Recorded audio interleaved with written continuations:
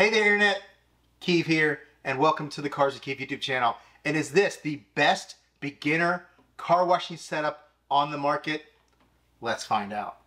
Now this is from a company called Toolsy or Toolsci. This one right here was 99 bucks when I bought it. Now it says the working pressure is 1400 PSI and the working GPM is 1.3, which if those are working numbers, that's pretty good because 1400, we can dial it down with some nozzles and get it to a really good 1000 PSI, 900 PSI and get that higher GPM. Here's the gun that comes with it. Look familiar? Same casing as an Essential Washer, same casing as an M Mingle, same casing as a McKillen's. M22 14 millimeter at the bottom, quarter inch quick disconnected in, all brass, very nice solid gun. Pull is a little tense, same pull as an Essential Washer and the others, but when it's pulled, the handle itself and the trigger pull isn't taking a whole lot of real estate. So when you do grip it with your hand, you don't feel that hand fatigue. Now this is what I would like to call a mix between an Uberflex hose and the really crappy plasticky hoses that come with most of these. It is much more flexible. You have M22, 14 millimeter fittings at the end, 25 foot as well. So about five foot longer than most pressure washers that are about 18 to 20 feet. 25 is more than enough to get around the car. You get a baggie of nozzles. They're all 2.7 orifices, which is quite weird because normally with a pressure washer like this, you would see there'd be about 1.7 to 2. So you have your white, your orange, your green, your, your red, your 0, 15, 25, and 40, plus a detergent tip. Here's your foam can. Very no frills, very cheapy, but it should be effective. Now, I've already checked it is a 1.25 orifice inside, and it does have a nice O-ringed, you see the O-ring right there, really nice because you can hand tighten this and you won't need a tool. So you can see it has an orifice in there so you can change this out to a 1.1 to get better foam. The top is adjustable, more water, less water for less foam and more foam. Then the top is adjustable for your stream and your fan spread. It does not adjust from vertical to horizontal. Basically kind of like a Greenworks Ryobi style it looks like. The casing is kind of cheapy. Uh, looks like just basically a basic mold. It has a GFCI, a pretty decent cord, I think about 15 feet or so, maybe a little bit longer. Uh, it does have your M22 14 millimeter, I believe, from factory that looks like a 15 millimeter, and then they did this adapter because this is 2.7, so it's kind of in between the 2.5 and the 3.0, which for this type of pressure washer are the ones that most people use. We have a 2.0, a 2.5, a 3.0, and a 3.5. We'll test the PSI on each one. We'll only do the gallons per minute rating on maybe one or two of them. Since this comes with a 1.25 orifice, I have a 1.1 orifice that we can test the foam level between them. I believe to have awesome, awesome foam, you're going to need the 1.1. So that's enough talking. It's time for testing. Before we get to that, go ahead and like, comment, and subscribe. Don't forget the links below and check out carskeeve.com. So I have an amp meter here. That's going to let us know if the 1.1 orifice on the foam cannon or one of these smaller nozzles is too much for the pressure washer. Our 14 millimeter M22 it's going to go right in. And the best thing in the world about these M22 connections, hand tight without a tool. So if you're going to use this gun that doesn't have the swivel on it, you're going to want to straighten this hose out first before you screw it into the gun.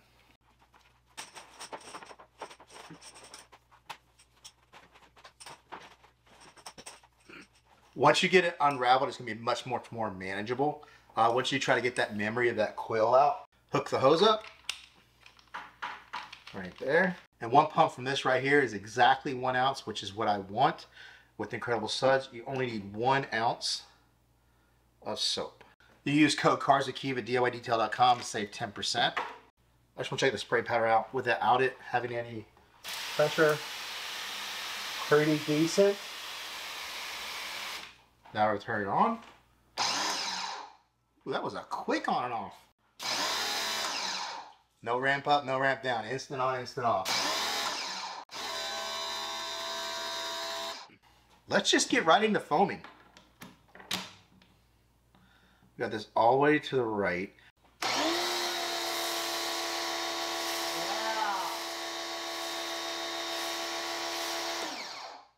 That's actually some pretty good foam from a 1.25 orifice. So as a beginner, it's a good way to start. 1.1.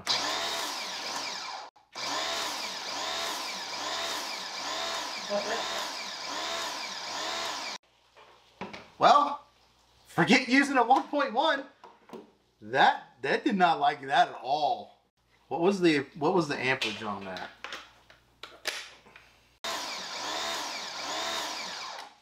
I can't even get a long enough reading. It keeps shutting off before it can actually read the amount of amperage.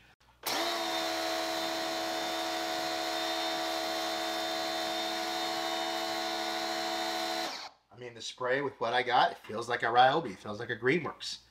Now we'll start testing pressure. So this is the stock tip 2.7 orifice. Almost 800. So this is definitely out of the box, meant for car washing. But 800 is a bit low. I would at least, I would like to stay in minimum 900. But you could run uh, 800, but I would run with a 25 degree and not with the 40 degree. Let's put the 25 degree on there so you can see the difference. So since your overall pressure is lower, we're concentrating it. It has a little more cleaning power, but the difference is, is the fan isn't as big. It takes a little bit longer to rinse the car off this way. I'm gonna try a 3.0, but I got a feeling that this is the not the direction we're gonna wanna go.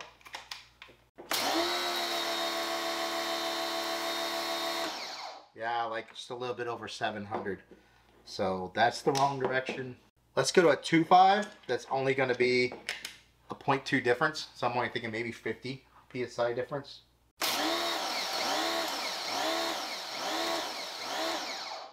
Ooh, I don't think it likes the extra pressure. So that makes your decision real easy. Stick to the stock orifice. Have a bucket with little measuring marks on it. We will run the clock at exactly one minute. We will run the pressure washer and then we'll see how much is in there and that's your gallons per minute. All right, here we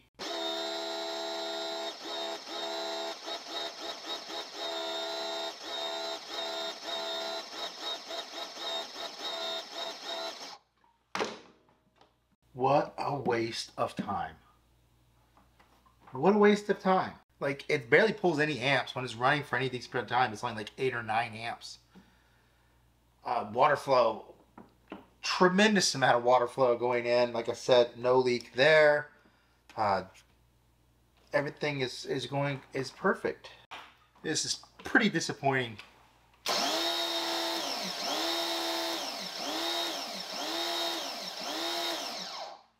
They bump it up to a 3.0.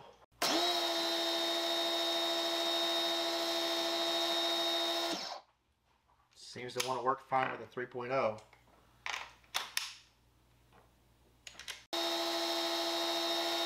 I mean, 750. Is that not disappointing though? Like, why, why is the stock nozzle piece not wanting to work? What the frick, man? see if we can get something out of this. 3.0.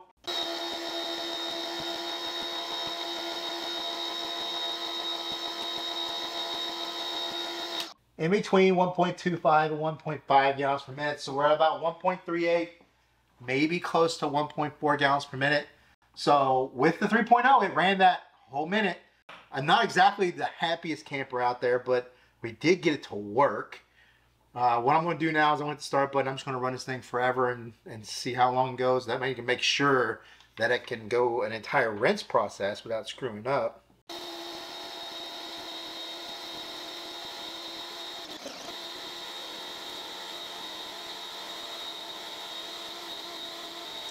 All right, so that was exactly five minutes, and we were doing a bunch of, in the middle, we were getting the system a little worked up. Now, it's still, it's not hot hot. It's warm on the sides, but it ran that entire time. Now, we switch to stock nozzle, and like I, I'm telling you, these are perfectly clear. There's nothing there blocking it. The machine has got some kind of fail-safe, whether it's back pressure or whatever it is, a motor, uh, how, how much is working something is telling it to kind of shut off and that's what that pulsating come from normally when you get a pulsation like that there's debris stuck in the nozzle. But no, or there's a, an air leak, a water leak somewhere. Now all I gotta say is running a 3.0 orifice nozzle at 750 psi.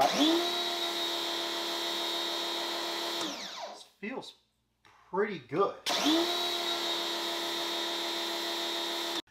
So it's worth a hundred bucks. Yeah, still with the foam cannon, the hose, the spray gun, and the unit uh, for a beginner, beginner, or somebody who's looking to spend as little money as possible, but still be able to clean their car without a garden hose to at least have a pressure washer. Uh, the 3.0, I would suggest these ridge washer nozzle guards. They're 20 bucks. You get uh, the red, the orange, the green, and the white. Uh, I would suggest at 750 psi. You you might be able to get it like slightly more than that than I do, but the 25 degree for the cleaning wheels and tires, I would use the 15 degree. But at least now you have the information to make your own decision. What I'm going to do is in the links below, I'm going to list everything in the video, but I'll also link my suggested setup. What I think is the best for the money, cheapest solution you can get out there. But also let me know, do you want a video on the cheapest, best solution? Uh, let me know. I'll start getting the things in and start building that and get that video out. So don't forget to like, comment, subscribe. I'll see you in the next video.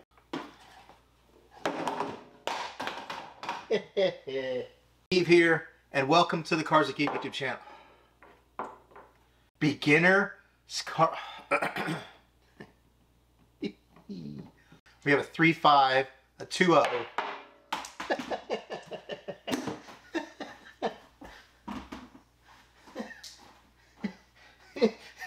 and then I stepped on the soap dispenser from my Incredible Suds and it shot a bunch of soap on the floor. 1.25 base out of the box. Maybe a little more. That's why we got nozzle guards. Make sure that clicks. What an idiot. Now I do gotta say, running the 3.0, I do gotta say, running a 3.0 orifice. Now I gotta say, running a 3.0 orifice nozzle. Oh my gosh, I can't, I can't talk. Oh, water got all in my drawer What the heck? Pay attention, you dumb dumb. Rookie move.